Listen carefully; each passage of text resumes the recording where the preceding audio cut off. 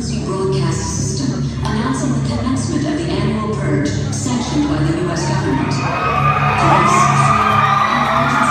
services will until tomorrow morning at a.m. when the purge concludes.